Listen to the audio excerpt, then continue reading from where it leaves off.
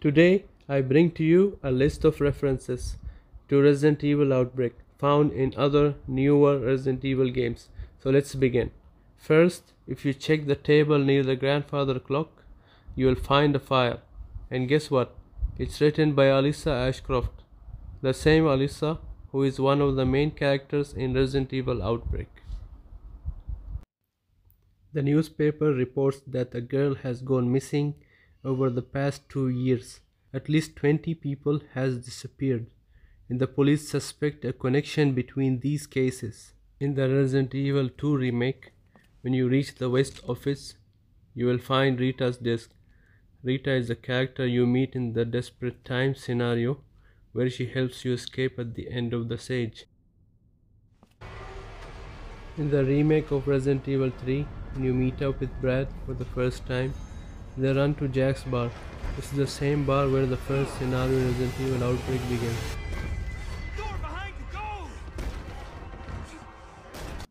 In the subway, just before meeting Mikhail, there's a poster for the Big E band. A member of this band likely stayed in room 306. During my playthrough on very hard mode, I found a special item called the Big Earring in the Apple Inn, the same room where you get the red gem in the Hellfire scenario. In the city, there's a supermarket with a lot of posters, but three of them contain some interesting references Umbrella Noodles, Zapata Beer, and Elephant Restaurant. After using the key we get from Kendo's shop, we find a notice board. On this notice, the name Al Lester is written, referencing the crazy doctor we meet in the flashback scenario in Resident Evil Outbreak File 2. I save it best for last. Just before Kendo's gun shop, there's a police car with a radio.